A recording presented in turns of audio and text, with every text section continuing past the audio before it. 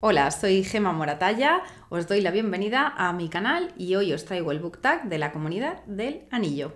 Empezamos. Bueno, pues después de un paroncillo así que ha habido en el canal de unos dos meses, me apetecía volver con un vídeo ligerito, sencillo, entretenido y dejo un poquito para más adelante mm, otras cosas sustanciosas que tengo ahí en la recámara, como wrap-ups ahí sustanciosos, con chicha, algunos book también, porque claro, en estos meses he comprado cosas, habéis sido la feria del libro, han pasado cosas diversas, sí. Pero bueno, estad atentos a las notificaciones, sobre todo activad las notificaciones ahí para que os llegue el aviso de esos siguientes vídeos. Y eh, hoy nos centramos en este book tag llamado De la Comunidad del Anillo, que es original de Amarie de Imladris, pero a mí me nominó hace mucho tiempo Pachipedia, hace casi como un año. Y bueno, ya tocaba hacerlo, es un book tag muy bonito. Y vamos a empezar eh, con eh, la primera de ocho premisas. La premisa número uno se refiere a Frodo Bolsón. Voy a leerlo y bueno, voy a leerlas todas. Tengo aquí la chuleta porque son un poco largas y no me las puedo aprender, mi cabeza no da para tanto. Entonces, bueno, Frodo Bolsón dice el libro más corto que te atrapó y te hizo amarlo como a tu tesoro. Bueno, pues eh, os traigo una joyita de mi infancia que es una adaptación muy pequeñita, como veis el libro es pequeño en contenido y también en tamaño, es una adaptación de Alicia en el País de las Maravillas, eh, la autora de la adaptación, voy a leer su nombre para que quede ahí constancia, es María Victoria Rodoreda Sayol y el libro es nada más y nada menos que de 1983. Mm, es posible que mm, alguno de los que estáis viendo hoy el vídeo no hubierais nacido seguramente en ese año. Pero bueno, corramos un tupido velo. Es una, pues eso, una adaptación muy breve, mm, con ilustraciones, y yo no sé las veces que yo me pude leer este libro cuando era pequeña. Es que no lo sé, o sea, pueden haber sido 50 o 200 veces, no lo sé, soy incapaz de, calcularlo, pero aquí lo tengo guardado como una joyita y dispuesta a releerlo cuando lea eh, la auténtica Alicia en el País de las Maravillas, porque me va a hacer gracia comparar ahí el original con la adaptación. Está para niños. La segunda premisa es Gandalf el Gris y dice un libro que no llegó tarde ni pronto a tu vida, sino justo cuando se lo propuso, como hace un buen mago. Bueno, pues en este caso eh, se trata del diario de Ana Frank que me regaló uno de mis hermanos a una edad que coincide con uno de los momentos de, de la vida de Ana Frank durante este diario y cuando me la regaló eh, me dijo, mm, todas las personas de tu edad deberían leer este libro, así que creo que fue el momento perfecto y efectivamente lo leí, me impresionó mucho y es una lectura de estas que nunca, nunca se olvidan. La premisa número 3 es para Aragorn en su versión Montaraz y dice, no es oro todo lo que reluce, ni todo libro errante anda perdido.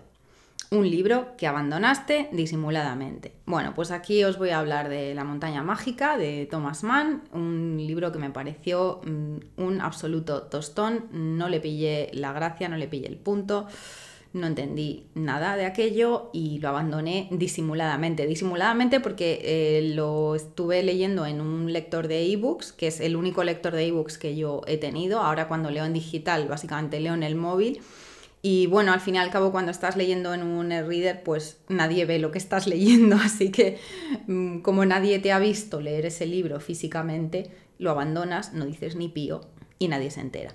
En fin, no sé si alguna vez en mi vida volveré a Thomas Mann, pero desde luego esta montaña mágica a mí se me hizo bola, se me hizo más alta que el Everest y fatal, fatal. La premisa número 4 hace un guiño a Legolas, hoja verde, con una cita del personaje. No sé si estas citas son del libro, película, indistintamente. Ahí mm, confieso que no lo tengo bajo control. Pero bien, la cita dice, el cielo se tiñe de rojo, se ha vertido sangre esta noche. Así que la premisa dice, el libro que más te afectó y te, o te impactó. Bueno, pues os voy a hablar de Paulina, de Ana María Matute. Es un libro infantil, pero mm, con un tono melancólico y yo creo recordar que pasa algo bastante triste, porque yo este libro lo recuerdo así como que me, me hizo ponerme triste y me impactó mucho. Es un libro que Estando en el colegio, no recuerdo qué curso, pero debía ser como cuarto, quinto, sexto de GB o algo así, la profesora nos lo fue leyendo. Eh, tuve una profesora que, nos leía mucho en voz alta en clase y nos leía cosas buenas, nos leía de hecho a Becker, nos leyó El Monte de las Ánimas. Y por cierto, hay un vídeo en el canal donde yo mm, me atrevo a leeros El Monte de las Ánimas. Si queréis ahí un poquito de, de audio relato, ahí tenéis. Y bueno, mm, a mí esta historia me, impactó mucho. Esta profesora leía maravillosamente bien y te quedabas enganchada a sus historias, a lo que nos iba leyendo. Y Paulina, no sé, es un libro que sé que me impactó. A lo mejor no es tan triste como yo lo recuerdo, y es que lo recuerdo con mucha nostalgia, pero mm, vamos, es un libro muy, muy bonito. Y si queréis eh, conocer a Ana María Matute o leer algo de ella que no sea a lo mejor lo, lo típico, pues muy recomendado. La quinta premisa es para Gimli, hijo de Gloin. ¿Cómo le gusta a Gimli y a cualquier enano? Una buena joya, ¿verdad? Bueno, pues la premisa dice certeza de muerte, mínima esperanza de éxito. ¿A qué esperamos? Así que dice libro al que te lanzaste con las mínimas expectativas y te encantó. Pues bueno, novela romántica, como a mí me pasa. Como tengo esa relación amor-odio con ese género y Normalmente cuando me lanzo a leer algo de romántica, pues voy con pocas expectativas, cuando encuentro algo que me gusta es maravilloso. Así que eh, os recomiendo muchísimo Un día de diciembre de Josie Silver, es un libro muy bonito, muy bien llevado, con una gran construcción de personajes. Y bueno, el, trío protagonista, eh, que es un, es un trío, pero no penséis mal, no estéis pensando ya en tríos de... No, no penséis mal. Son tres protagonistas muy buenos personajes y la relación que hay entre ellos me parece compleja, interesante y ya os digo, muy muy bien llevada por la autora. Tiene ese puntito feel good de la romántica y nada, un disfrute. Os lo recomiendo de verdad mucho. La siguiente premisa se refiere a Boromir y dice, yo te hubiese seguido, mi hermano, mi capitán, mi rey. Así que, como no, saga o serie que dejaron de publicar y, bueno, pues te, fastidiaron la vida, ¿no? Te rompió el corazón. Eh, ahí detrás me acompaña siempre la saga de Canción de Fuego y Hielo. No es que se haya dejado de publicar, pero bueno, todos sabemos el estado en el que está. Estamos esperando eternamente ese Vientos de invierno y yo viviré con el corazón roto hasta que se publique el libro y ojalá me guste, porque claro, si no me gusta, la rotura de corazón va a ser muy, muy gorda. En fin. La premisa número 7 es para Samsagat Gamji, y dice, yo no podré cargar con el anillo, porque es que ahí donde lo veis, es que, eh, claro, tiene sus cositas y pesa y es especial.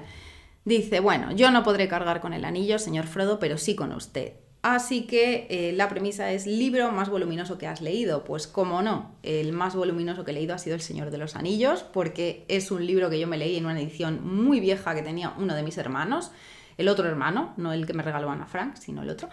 Y es una edición antigua que mucha gente tiene y, aprecia mucho, que es en un solo volumen.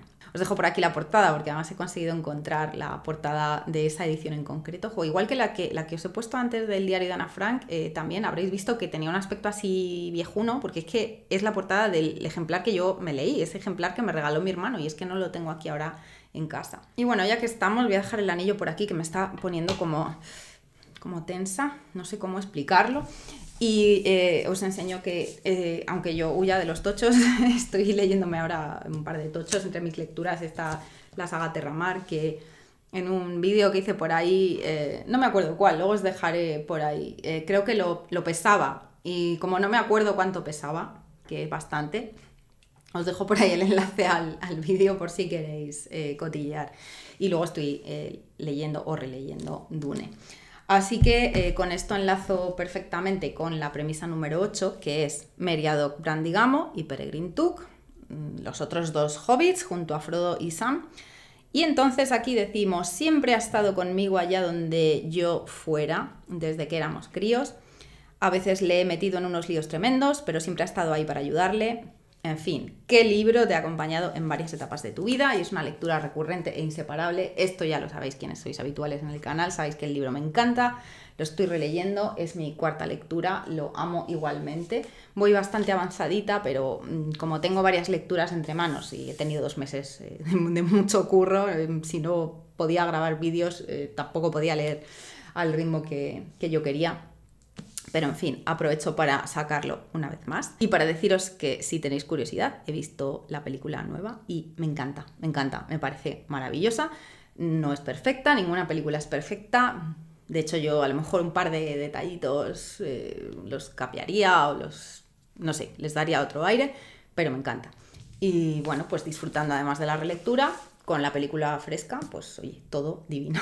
Así que, bueno, vamos a dejar por aquí estos tochos. Eh, me encantaría tener el tocho del Señor de los Anillos, pero no lo tengo porque no era mío. Lo que tengo es este anillo que cada vez está pesando más. Pero bueno, antes de que el anillo se convierta en una carga demasiado dura, nominaciones. Voy a nominar a dos personitas a las que quiero mucho. Me encantan sus canales. Eh, los sigo desde que yo Mm, supe que Booktube existía y, eh, se han convertido en dos grandes compañeras.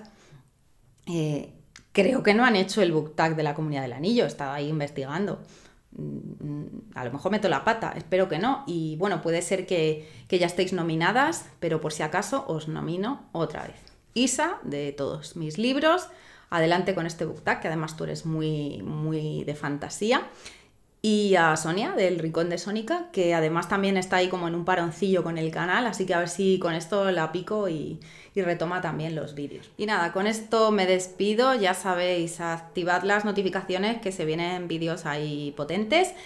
Mm, si no estáis suscritos, dadle al botón de suscripción y me gustaría despedirme de la manera habitual en la que me suelo despedir en los vídeos, pero no sé por qué hoy eh, me apetece decir otras palabras porque tengo ahí como a Bilbo Bolsón en la cabeza. Y bueno, pues ya sabéis un poco mm, macro cumpleaños que Bilbo monta y es curioso cómo cuando se despide de sus invitados lo hace de una manera muy sencilla.